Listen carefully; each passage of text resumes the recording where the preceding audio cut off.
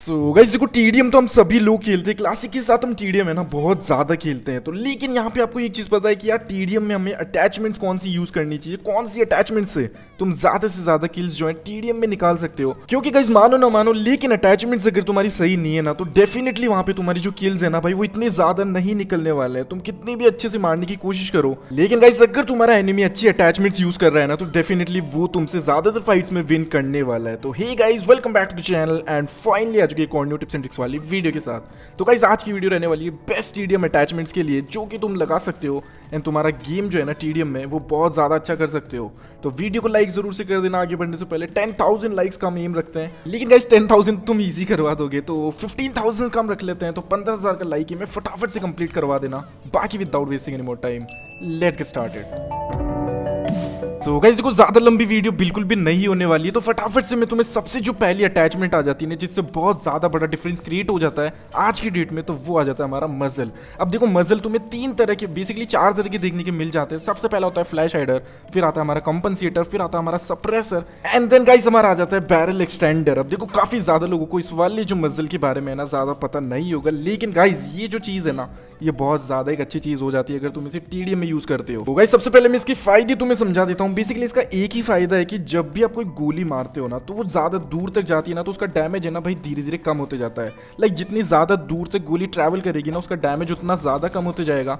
लेकिन ये जो चीज़ है ना बैरल एक्सटेंडर इसको अगर आप यूज़ करते हो तो सपोज़ करो आप एडीएस फाइट्स ले रहे हो, आपको ज़्यादा दूर बंदा मारना है टीडीएम में तो वहाँ पे जो है ना भाई, जो गोलियों का जो पावर होता है ना, जो डैमेज होता है, वो इतना ज़्यादा कम नहीं होगा। अगर हम इसे कंपेयर करें फ्लैश हेडर या फिर सप्रेसर या फिर कंपनसिएटर से।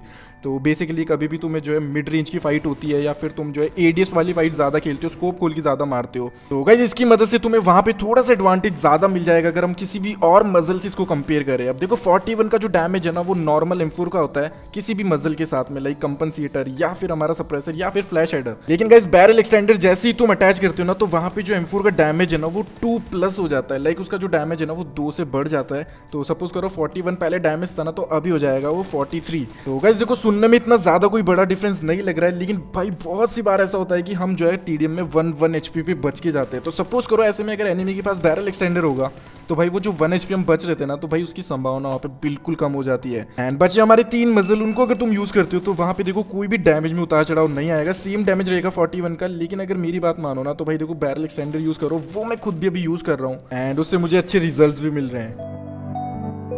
तो गैस अभी हम बात कर लेते हैं ग्रिप कौन सी यूज़ करनी है आपको? क्योंकि मानो ना मानो, लेकिन ग्रिप से है ना भाई, बहुत ज़्यादा बड़ा डिफरेंस क्रिएट हो जाता है अगर हम क्लासिक वगैरह की बात करें।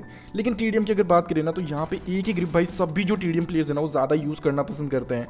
वो होती है हमारी लेजर ग्रिप अब लेजर ग्रिप है ना भाई, सच में बहुत ज़्यादा डिफरेंस क्रिएट कर देती है। एंड गैस देखो, अगर ये ग्रिप यूज़ करके आपका फ्रेंड कोई खेल रहा है ना, और वो बोल रहा है कि भाई ग्रिप से इतना ज़्यादा फ़र्क नहीं पड़ता, कुछ भी ऐड नहीं पड़ते लेजर वगैरह से तो भाई मैं बता दूँ कि बिल्कुल है ना भाई लेजर से तुम्हारे जो हेडशॉट है ना, वो ज़्यादा पड़ने लगते हैं। और उसका काम ही यही कि तुम्हारी जो बुलेट्स है ना, उनका स्प्रेड कम कर देना। तो गाइस देखो, ये ग्रिप है ना, मैं वैसे तो ज़्यादा यूज़ करना प्रेफर नहीं करता हूँ, इसलिए मैं लोड आउट्स में ना हमेशा दो एम रखता हूँ। एक मेरी फेवरेट ग्रिप एंगल ग्रिप के साथ में रखता हूँ एम एंड दूसरी जो एम है ना, वो मैं लेजर ग्रिप के साथ रखता हूँ। तो कभी भी मुझे लगता है ना कि मैं टीडीएम में हारने वाला हूँ तो मैं जो है लेजर ग्रिप पे स्विच कर लेता हूँ लेजर वाली एम पे स्विच कर लेता हूँ एंड देन जो है मेरी हेडशॉट एक्यूरेसी ज़्यादा हो जाती है।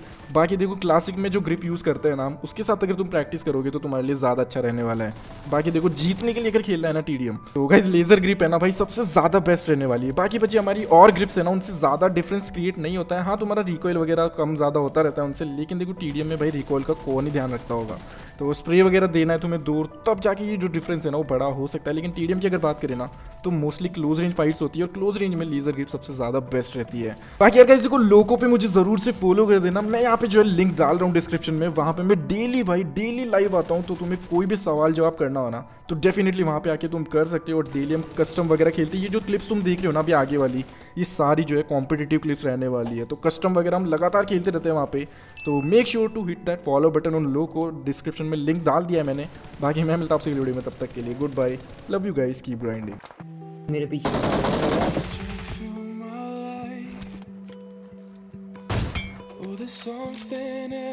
तुम्हारे वाले से एक नॉक दिया मैंने। चढ़ रहे थे उधर से राइट से एक नॉक दो, दो नॉक मैं पीछे आ जाऊँगा तू एक और डाल ले ले दूर से but.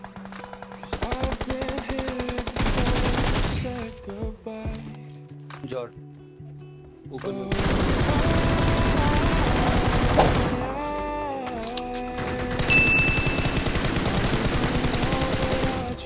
Like I wish I'd find.